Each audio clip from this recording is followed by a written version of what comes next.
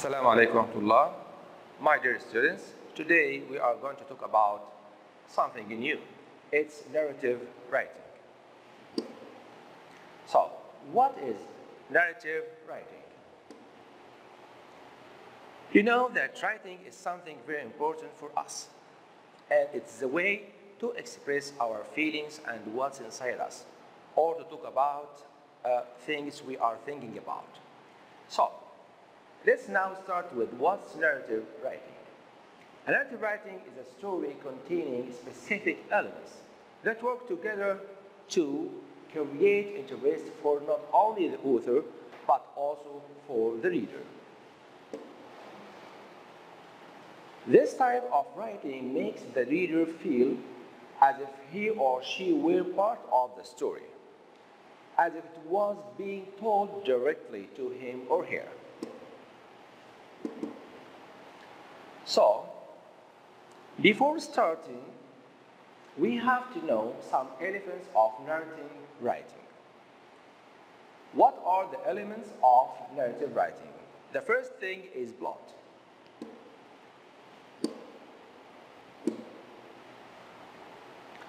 The who or what, where, when, why, and how outline that give narrative direction. What is the story about? Events unfold as they happen, the frame of the narrative. So now let's talk about the structure of the plot. Plot structure of narrative writing the beginning. Here, as we come to begin, we have to use something interesting to attract the reader, to be exciting, opening to capture readers' interest. Setting revealed, also main characters introduced, conflict presented. So, let's complete. The middle of the plot must contain characters attempt to resolve conflict or problems. Action progresses sequentially, step by step. Now, the climax. The turning point of the narrative reveals the process involved the solving of the conflicts. Let's continue. So, we have the end. How can we end our narrative? Tells how the resolution of the conflicts have affected the characters. New new characters or plot ideas introduced. Theme or message understood by the reader. So let's talk in details about some elements of narrative writing. First, characters. What are characters? The people, animals, or inanimate objects of who are affected by the action of the plot or who are the cause of certain events. Characters, real or imaginative, should be brought to life through the narrative. If a character is not described well, you know, the story will not be believable. Seven. Where and when the narrative takes place. Allow the reader to visualize the scene and the characters in those scenes. Although the setting may be clear for the author, he she must create a picture of the readers. What about style? The figurative language, like similes, metaphors, etc., sensory imagery, vivid verbs, strong senses, dialogue, and point of view, what makes each author unique? Every student has his or her own style and technique. Although we have the same topic, everyone will write differently. The conflict also something important to reveal it during our writing. What's conflict? Of course, you know, this is a problem that must be overcome or resolved so that the readers will not be left hanging. Okay, now let's talk about different types of conflict. Person versus self, person versus person, person versus society, person versus machine or technology. Let's talk in details about them. Person versus nature. So we have many things to talk about. Now let's talk about them in details, okay? So, person versus self. How? One month ago, Abby was assigned a book to read for a book report. Upon sitting at the computer to work on it, Abby struggled with the decision to do the reading or to serve the web instead.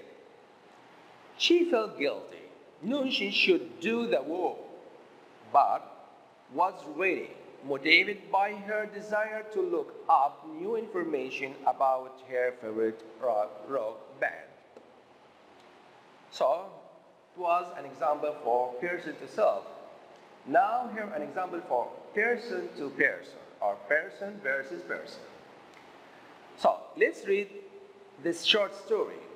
Abby and her best friend Megan all went together on a group project. Abby didn't do any work, leaving it all for Megan to do. When the girls get together to do the project, Megan finds out Abby didn't do any work. She becomes angry, yells at Abby, and storms out of the room. So, here is an example for person versus society. Abby needs to go to the library to begin working on her project. When she arrives, she finds out that Jevels here under the age of 18 can't enter the library without a parent. Her mom is at work. Eve is mad about this thing, totally out of her control. She writes a letter to the library expressing her disgust. So, I think this is the last example for person versus machine or technology. Abby begins her labor finally. All of the sudden, there is a power surge and her computer crashes. Oh my God. She loses all the information that she has been working for for hours. Person versus nature. So you have more than one here. Abby tries to remember exactly where she left her book for the reward. This is person versus nature and maybe the last one for us. Okay, so let's read it again. Amy tries to remember exactly where she left her book for the reward. She remembered that she was sitting on the bench outside of her house. So, she returned to that spot. She finds it. However, it had rained the night before, and the book is now is shambles. So, what's theme? I think we talked about, talked about before. So, you know, what's a, a theme? A theme is a message revealed in the story. It may be directly stated, like in a fable where the moral is told at the conclusion, or it may be indirect, leaving the reader to decide the story's message. There can be more than one theme for the narrative. So, different points of view, and this is how can we write? So, who is telling the story?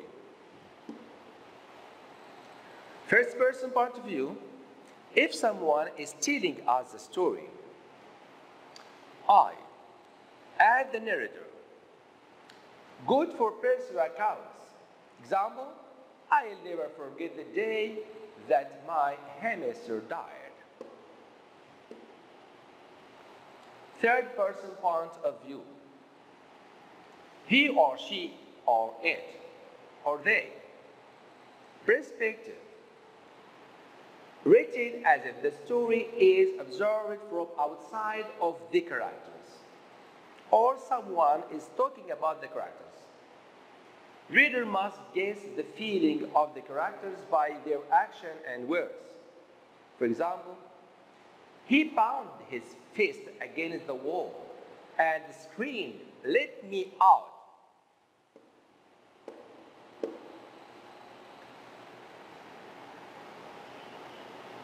Okay, so let's talk about third person point of view.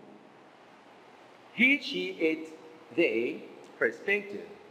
Narrator can write about the thoughts and feeling of all the characters. For example, she called him a liar, so she knew he was telling the truth.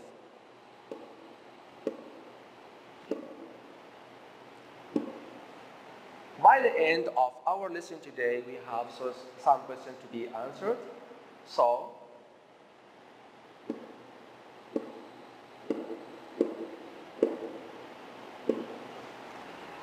here are five questions. Who will be the narrative?